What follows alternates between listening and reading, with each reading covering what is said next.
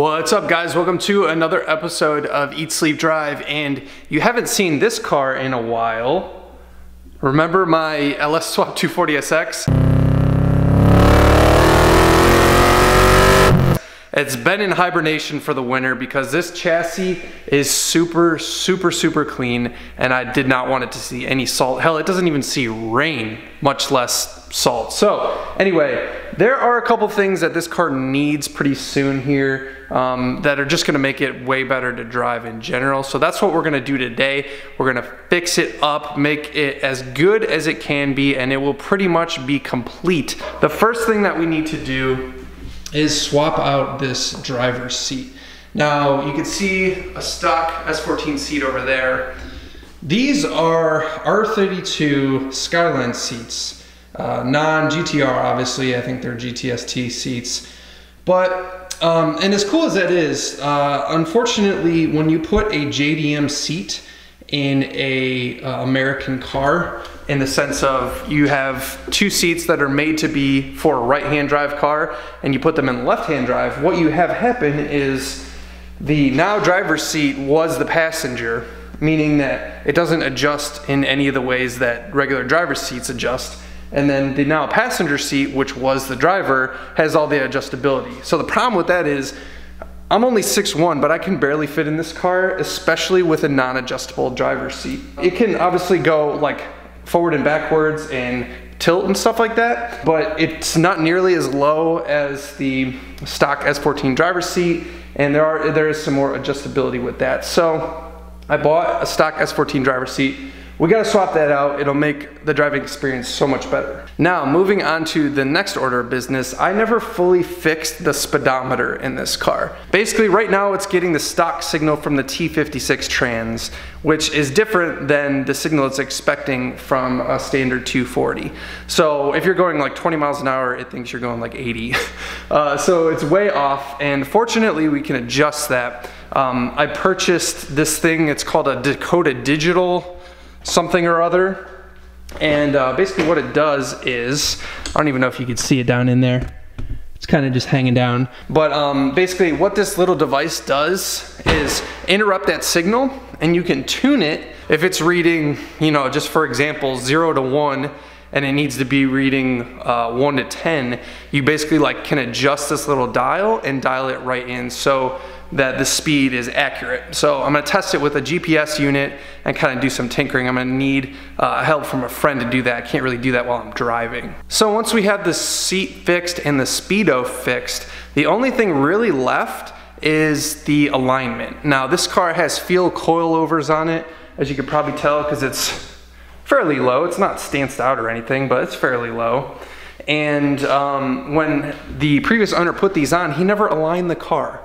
So it's gonna get in alignment. We're gonna go to my favorite shop, Turn-In Concepts, get it aligned, and then it should be pretty golden. Uh, I'll give you guys sort of my driving impressions of the car then because it'll be like basically done then. I might even sell it. So if you guys are interested, hit me up uh, on all the various platforms. But uh, let's dive in. Let's fix the seat first. We'll move on to the Speedo then, and then we'll go get it aligned.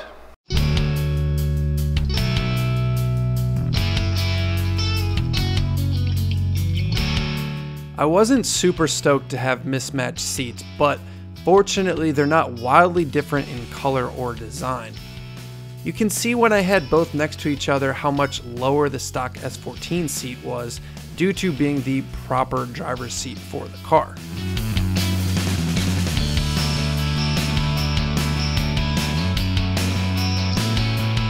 Alright, let's try the seat out. I'm taking my shoes off because this carpet is brand new and minty fresh. I need to find like a, uh, a mat. Oh, but yes, thank God. Okay. Before literally just sitting here, my head was touching the ceiling with the other seat. So I'm already in a much better position. Let's see if we can adjust this a little bit better for a pretty solid driving position. Definitely, definitely way better. My head is no longer hitting the ceiling, which is really nice. I'm definitely lower.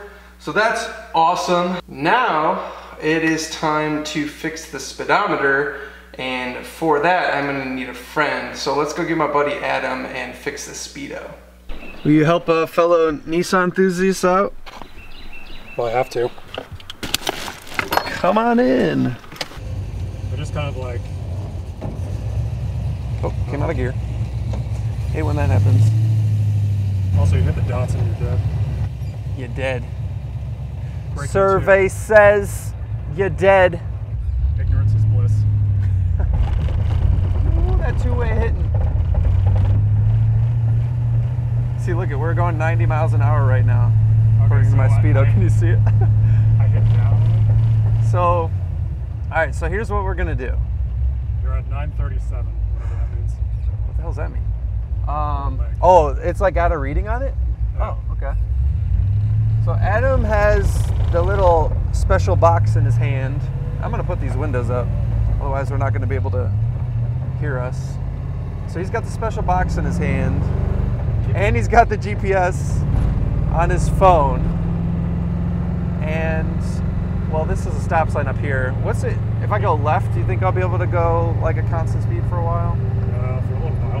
It Yeah. keeps on saying to go down, but I don't see your, how verifying it is. I've been holding the down button. Oh, you're holding it down? Yeah. Oh yeah, it's It's it's from. It's nine- going way down. it's gone from 900 and now at 450. Okay. All right, we're coming to a stop, so hold on.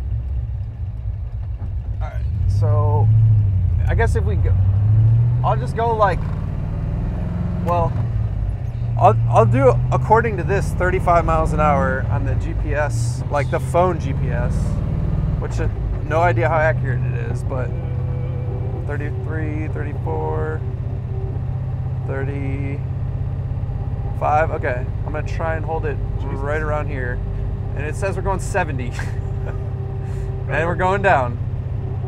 We're going I liked it better when it down. was 120. Yeah. Uh, Did it stop? yeah, did we hit the bottom? It stopped at 250. It won't go any lower. Are you freaking kidding me? So it really would have helped if I actually read the instructions first. It's a little more involved than I initially thought, but after reading what I should have from the beginning and a lot of trial and error, we eventually got it spot on the GPS speed value. For those of you who may be putting an LS in their 240 and want to know the values I eventually got to work, here they are. Okay, guys, we're here at Turn-In Concepts to get the car aligned. Uh, these guys are my favorite tuning shop in Cincinnati. If you're anywhere near the Cincinnati area, go here if you need something done on your car. But let's go inside and get this thing sorted out so it drives way better than it does now.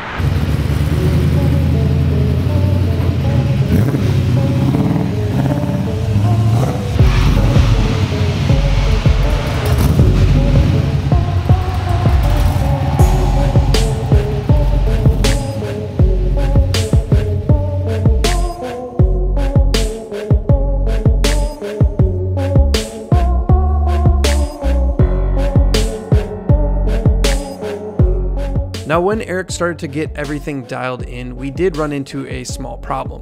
Even with the coilover top hats maxed out, we couldn't get more than one degree of negative camber up front. This was obviously no bueno, but Eric swapped out my top bolts with camber bolts and was able to get way better results. I could have gone with as much as negative 4 degrees, which I thought was overkill for the street, so we settled on 2.5. One quick note, he aligned the car with me in it. This printout came after I had already got out of the car. Well, that's it, guys.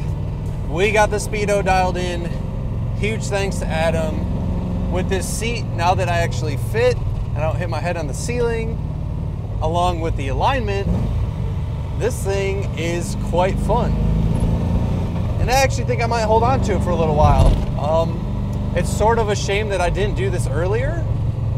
Uh, I'm, I'm sort of embarrassed by that. I really should have gotten an alignment earlier on, uh, but just didn't drive the car that much last summer and never got around to it. Doesn't matter now. This thing is great to drive now, a lot of fun.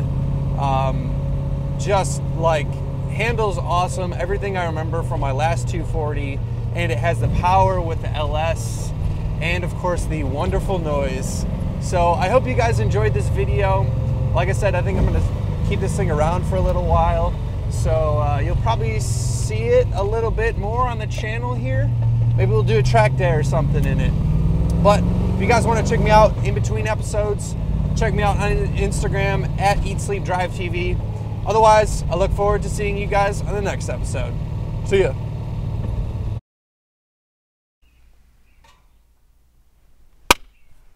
All the things are all the things are synced. That's my clapboard. Don't laugh at my clapboard. Such a peasant. Why is that? Why is that bad? It's fine. Because you need like the illegitimate like thing. I'm gonna carry that around. Yeah. The clap works. Yeah. I thought you were Premiere Premiere automatically syncs it. I thought you were professional.